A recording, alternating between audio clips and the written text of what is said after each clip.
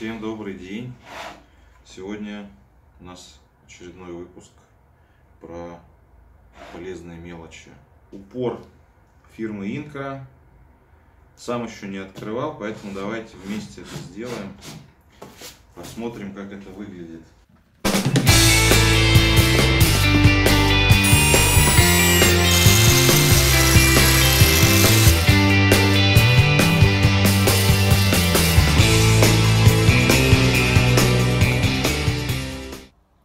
И многие на циркулярке, я долгое время пытался использовать такие каретки.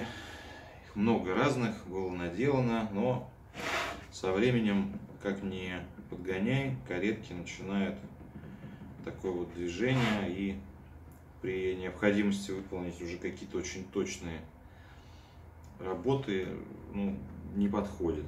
То есть влажность поменялась, все, вот этот паз остается, эта вкладка начинает гулять, ну и так далее. А, ну, как многие, наверное, догадались уже, где это было куплено, поэтому специально это вслух проговаривать не буду. Просто открою, ну, кто захочет, тот найдет. Как ни странно, почему-то на такое полезное устройство очень мало отзывов, очень мало обзоров, особенно на русском языке. Поэтому давайте попробуем сейчас это все это дело исправить. Поставляется оно в такой вот коробке. А, Здесь указано, что куплен, что это упор Инкра производства США модель а, миллиметровая, а не дюймовая 1000 SE. Есть несколько разных моделей. Самая навороченная из них, по-моему, 1000 HD. И отличается от этой она, если не ошибаюсь, тем, что э, у моей SE э, насечки предустановленные для угла, по-моему, там 41 значение, то есть они не по градусу, а на каких-то фиксированных значениях. А на HD то же самое, но вот эти вот зазубрины, они идут на каждом градусе. Ну, для меня это избыточно, поэтому не стал переплачивать. Взял такой. Итак, посмотрим, где у нас а. такая вот штука. Здесь у нас, ну, понятно, товарная накладная. Какие-то инструменты, видимо, которые будут нужны. Это, это у нас упор, который позволяет точно отмерить размер заготовки по упору, по длине самого упора. Так, ну а это у нас так будет все. Это у нас сам упор. Такая вот еще к нему, я так понимаю, запасная линейка идет, что ли. Непонятно. Ладно. Потом разберемся. Так, с чего же состоит наш упор? Вот он. Вот так вот он выглядит. Видно, не видно. Угу. К этому вернемся чуть позже.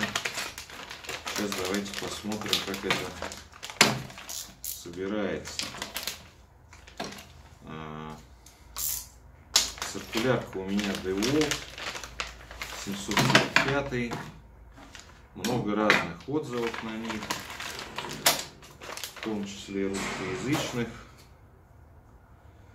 Ну, спорная, спорная такая циркулярка. С одной стороны, очень точный и удобный параллельный упор, с другой стороны, вот, этот вот, вот эта часть стола, несмотря на то, что она летая, она немножко выгнута с дном в районе пилы. Не знаю, может быть это специально.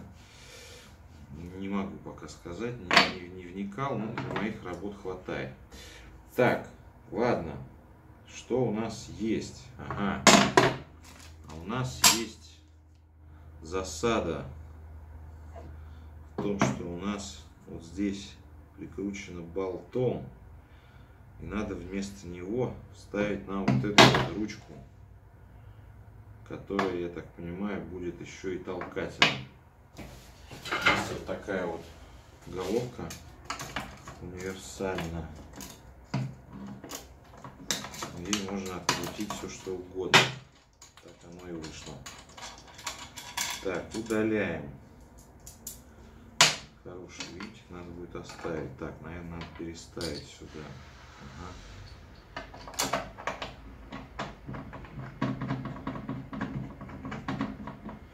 Так, что мы здесь видим?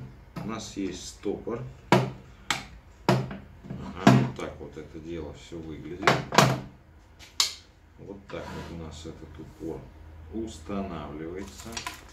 Это пока мы уберем в сторону. Вкратце, как это все работает.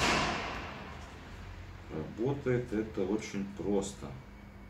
Это потом мы выставим. Значит, у нас есть вот здесь есть фиксатор, который мы совмещаем с нулевой позиции, затягиваем. Дальше. Для того, чтобы нам выставить пилот, нам нужно сдвинуть упор в сторону. Я так понимаю, что, наверное, вот этими вот он, да,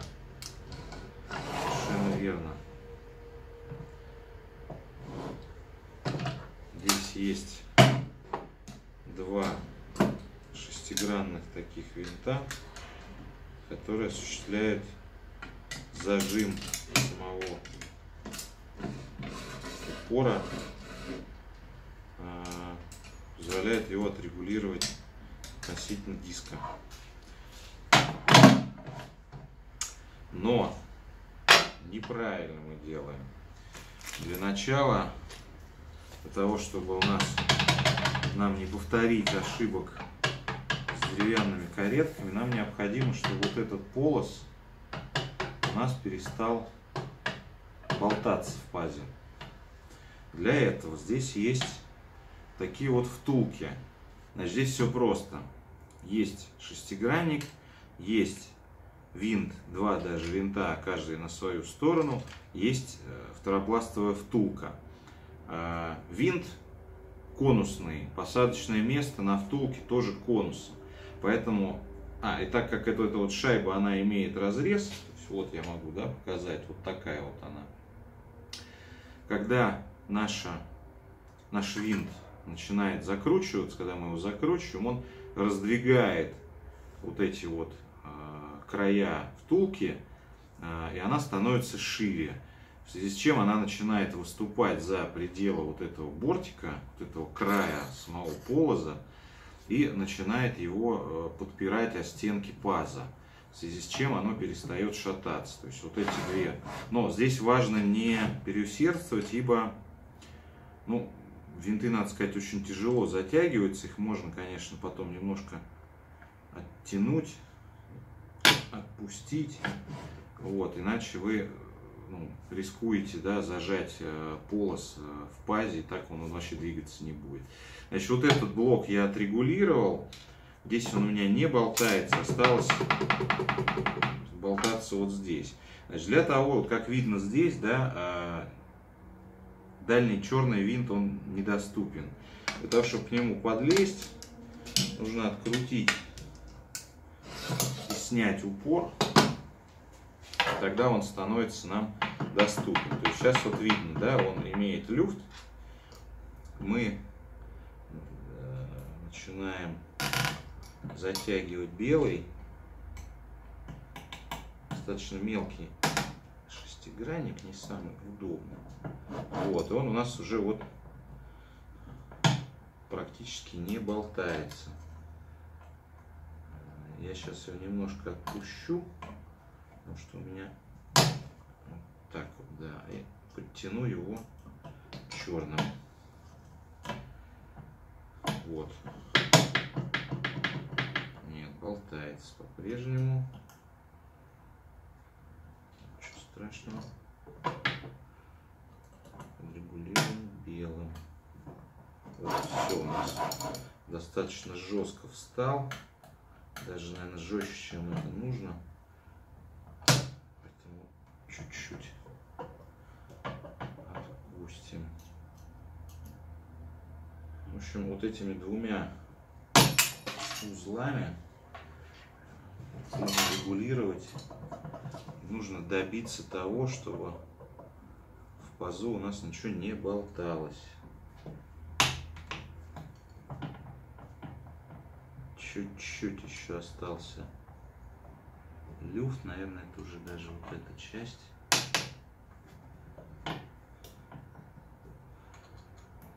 Здесь очень важный момент, потому что если вы не дотянете, будет люфтить. Если перетянете, будет тяжело двигаться. Ну вот, в общем, оно достаточно тяжело у меня теперь в итоге двигается, поэтому надо, наверное, немножко отпустить.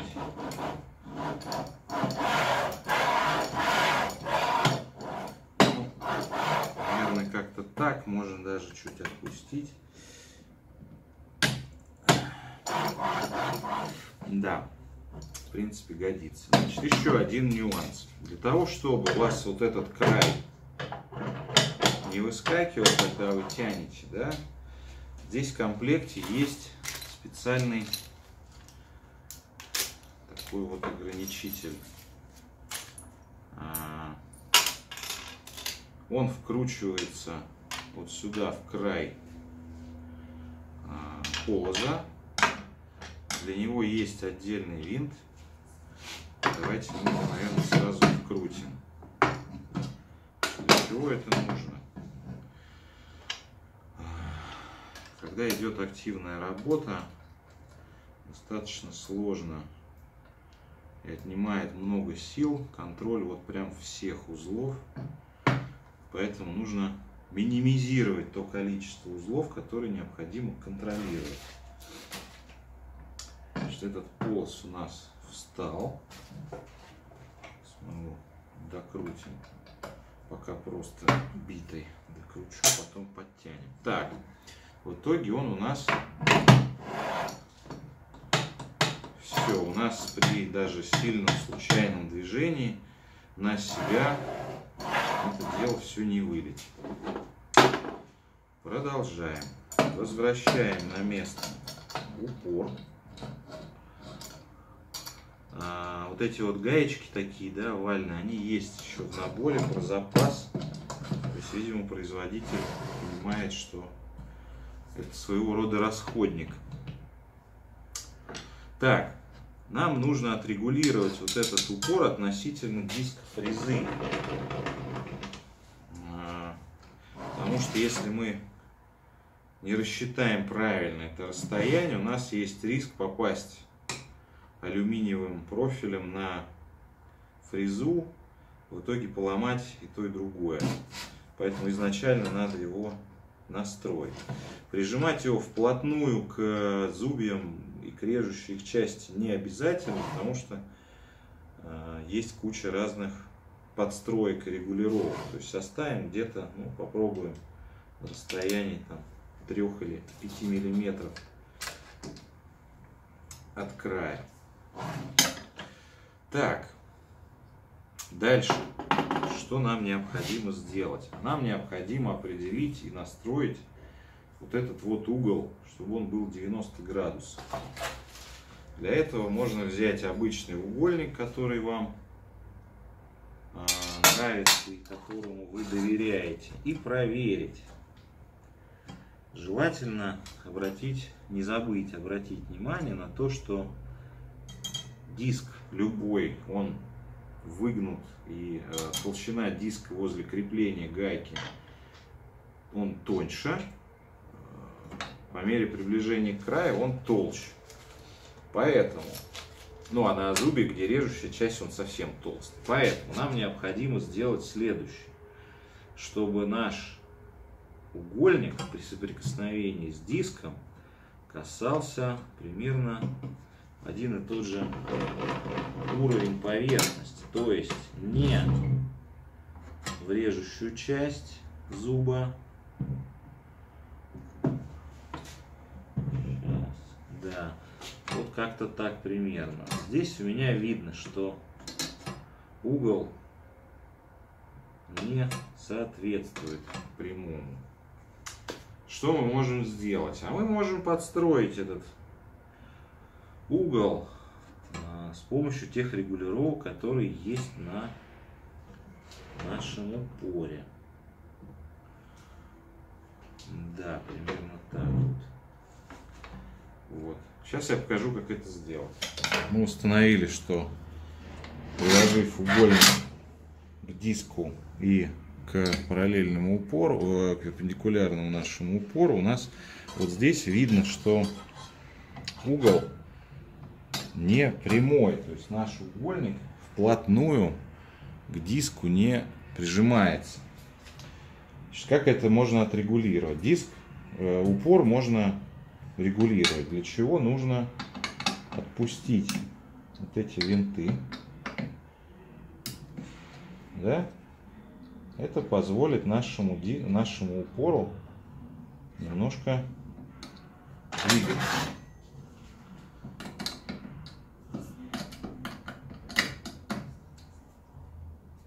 Это тоже надо отпустить.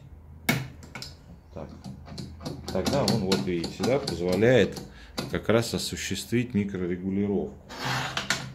Значит, что я предлагаю сделать? Нужно прижать наш диск. Вот так.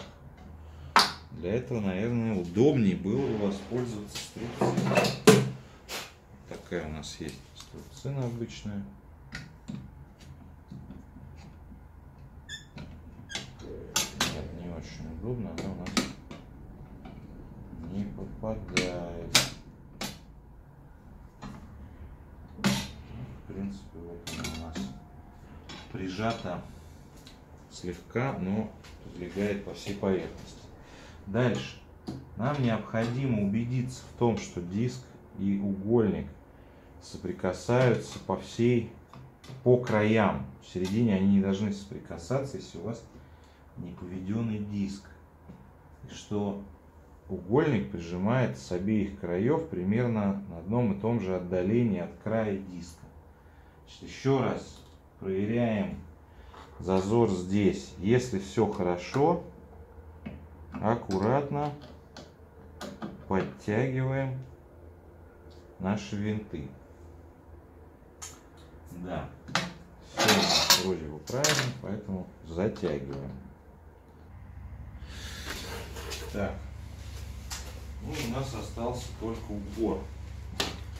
Все лишнее советую убрать из коробки. Мелочевку всю эту тоже сложить отдельно еще пригодится. Так, что мы имеем? Есть упор, который фиксируется в этой планке. Ага, вот оно в чем. Значит, вот здесь на упоре самом основном есть такая вот ребристая накладка, их даже несколько. Такая же накладка есть на вот этом стопоре, что позволяет фиксировать очень точно относительно поверхности вот этот стопор. Что мы делаем? Мы ослабляем второпластовые такие винты Фиксируем, да, вот так вот ничего не получится сдвинуть. Но это и хорошо, потому что когда мы идем пором уже с готовой с установленной заготовкой. Диск ее немножко пытается отдавить, она упирается, и если здесь э, узел мягкий, то может сорвать. Здесь все продумано, молодцы. Значит, что мы делаем? Мы вставляем, нет, наверное, сразу регулировку поставим. Мы вставляем, ну да, пусть будет так, упор. Да, что он нам позволяет? То есть мы видим, что упор позволяет нам достаточно тонкие заготовки устанавливать. А, да. Здесь достаточно, я так понимаю, хитрая система регулировки. Да, все правильно. Здесь еще упор. Так вот можно отодвинуть.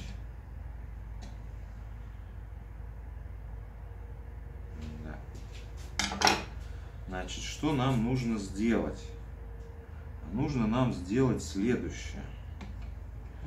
Для того, чтобы нам правильно отрегулировать вот эту линейку, нам необходимо вот этот упор, вот эту часть, этот стопор, назовем его так, да, поставить вплотную к самому краю режущего зубца вот этого. Я вот так вот это делаю, да, вот он у меня приложился правильно. После чего я это дело затягиваю и проверяю. Если у меня а, не уперлось, да, не хватило вот этой гребенки, здесь есть вот такая регулировка, то есть ослабляем подтягиваем вплотную и зажимаем. Дальше, это еще не все. Здесь есть линейка, которая двигается.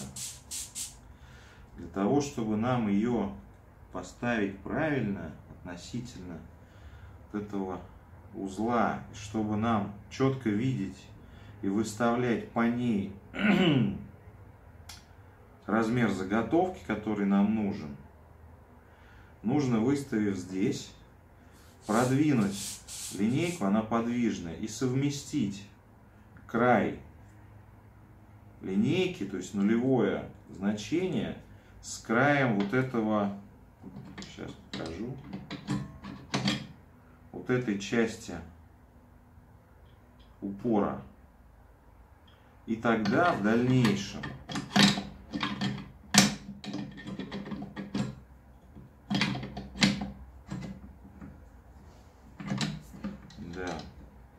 тогда в дальнейшем, когда мы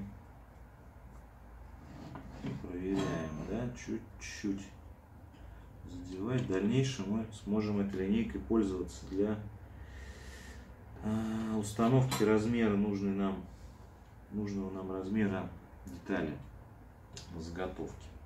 Но здесь надо быть внимательным, значит, потому что он двигается. Вот она спокойно может быть сдвинута. Ну, ничего, это нужно проверять просто при каждом, при каждой перестановке. Тогда будет все правильно. Так, окей, мы выставили, здесь закрепили. И, в принципе, готовы работать. Угол мы проверили.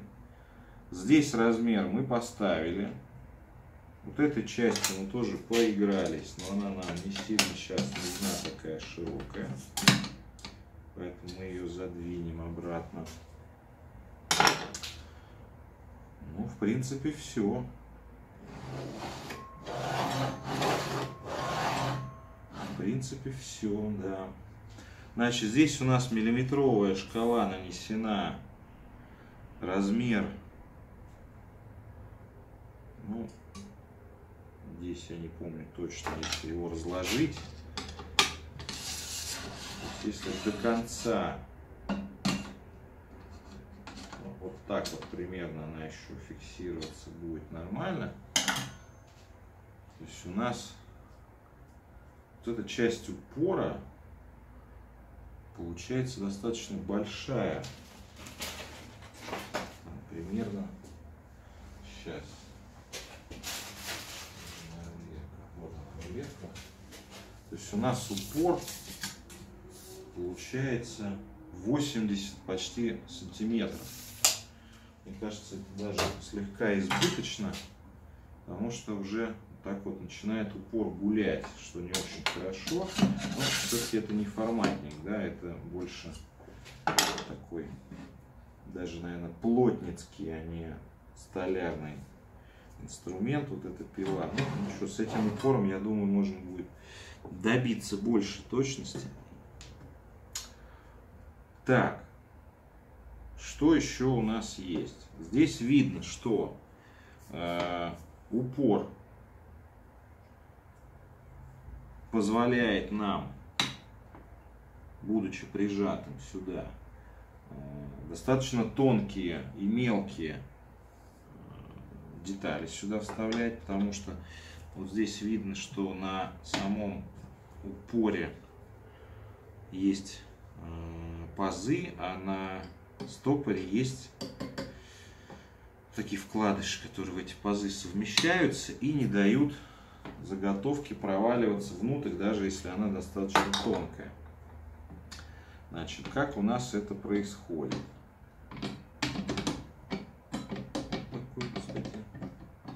Своеобразный, конечно. А, вот, вот таким образом может быть перемещен. Значит, напоминаю, линейка у нас стоит на месте. Упор мы э, выставили. Соответственно, сейчас у нас, например, расстояние отсюда до сюда. Давайте выставим, попробуем по линейке выставить. Ну, к примеру,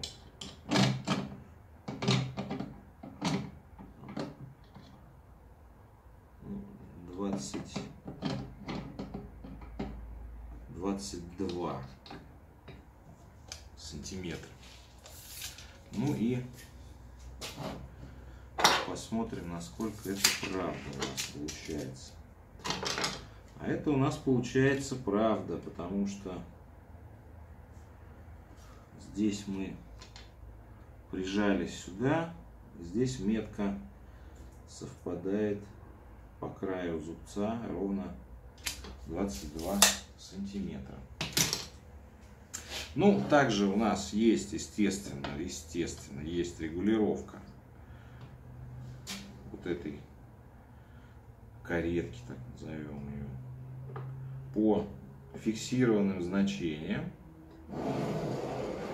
вот у нас мы можем да, регулировать как хотим. Например, 45 градусов можем выставить. Но тогда у нас э, все вот эти наши настройки, они, конечно, уже слетают. И нужно это выставлять заново. Вот, поэтому будьте внимательны с этим делом. Не забывайте, так скажем, что это нужно переставлять. Но основное, то, что у меня используется, это либо 90 градусов, либо 45, поэтому я думаю, что я особо часто этот узел переставлять не буду. Ну, надеюсь, что такой краткий, может быть, немножко сумбурный обзор, он вам поможет. Для того, чтобы определиться вообще, нужна вам эта вещь или нет. Да, кстати, здесь еще есть возможность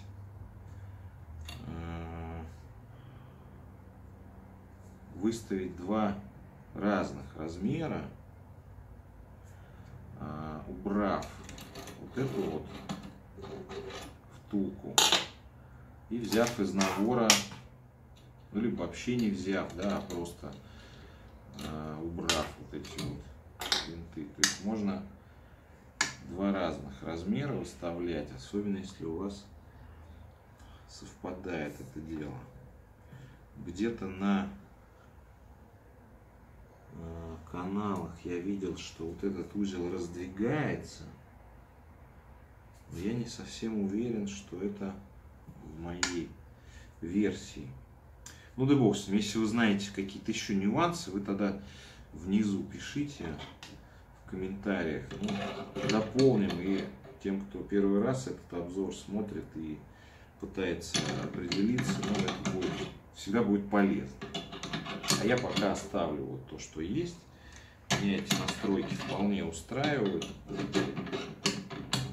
Упор вещь полезная, поэтому будем пользоваться в том виде, в котором есть. Так, ну это ладно. Здесь мы переставим.